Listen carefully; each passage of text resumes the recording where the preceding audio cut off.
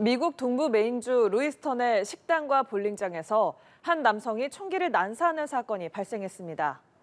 메인주 당국은 현지 시간 25일 밤에 일어난 이 사건으로 18명이 사망하고 13명이 부상을 입었다고 밝혔습니다.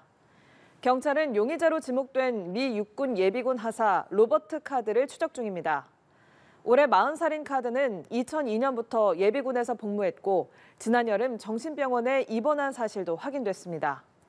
경찰은 카드가 무장 상태라며 주민들에게 주의를 당부했습니다.